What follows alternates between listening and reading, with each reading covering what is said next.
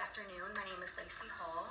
Um, I'm the mother of a school-aged child, and I'm here today with some of my concerns. Due to the broad uh, terminology in the plan, it's kind of hard to understand how and what exactly will be uh, implemented with the mental health screenings.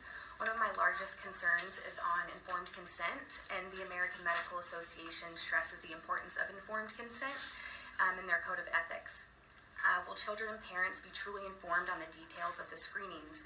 Will this be opt in or out? Will it be mandatory? If parents decline, would CPS then be involved? Uh, schools and healthcare providers are two of the largest entities um, that report to CPS, and then now with the mental health screenings, they would be working together. Uh, what about the prescribing of psychotropic drugs? We know that a lot of these shooters have been on these drugs.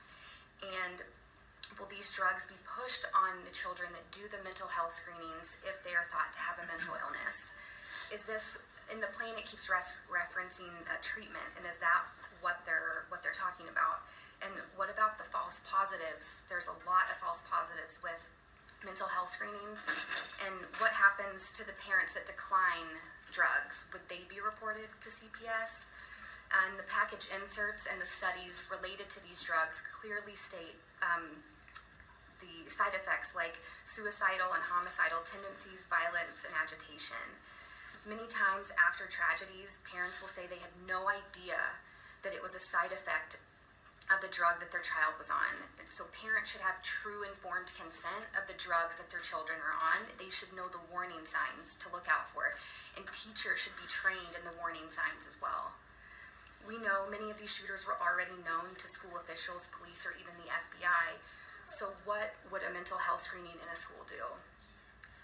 Um, my fear, oh, the t- in teen suicides. In spite of a lot of money and programs, we still see increase in teen suicides. My fear is the mental health, health screenings and ultimate rise in more children on mind-altering drugs will lead to issues with informed consent, CPS, and ultimately more violence and suicides.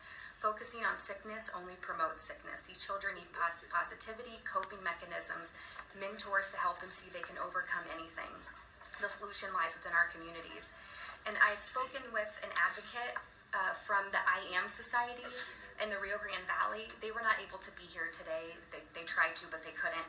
And so um, they are going to be emailing all of you some of their solutions, and some of them will be implemented starting in August.